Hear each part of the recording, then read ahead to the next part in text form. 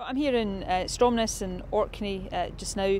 Uh, what we're doing today is announcing the grand challenge face of the Saltire Prize and announcing the four competitor companies who over the next five years will be competing to win uh, that £10 million prize. So it's a hugely exciting day for marine technology in Scotland. Well, effectively, the starting gun has just been fired. Um, we're now in a period where we're going to start measuring the performance of the machines.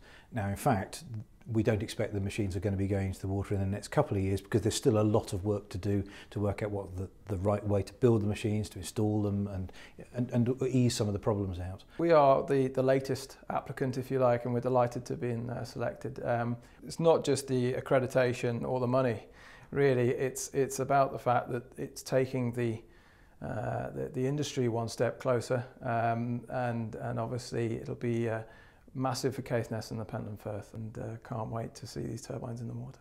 This is an extremely exciting transitional phase that we're in for the whole industry, moving from individual machines, the first small arrays, to the kind of project required to win the Saltire Prize um, uh, is a very different proposition. So for us, it's the, a natural progression. We're ready for this. The technology is at the starting line, and now it's uh, really focusing our effort on delivering that scale project. We're working with uh, Andritz Hammerfest Hydro, uh, who have uh, developed a three-bladed seabed-mounted uh, underwater tidal turbine and that concept uh, we like. We like the fact that it's already been well tested. We're putting it through its final paces here at the EMEC Test Centre in Orkney and then we'll look to deploy it in larger numbers.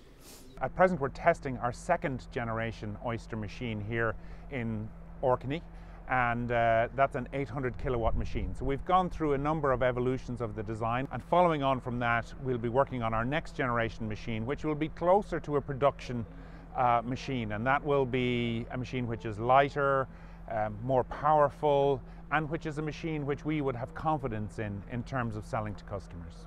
There will be one winner of the prize, and that will go to the company that has produced the most power over a two year period. But for each company, it will spur them on to develop their science and technology uh, in, in ways that perhaps they wouldn't have without the prize.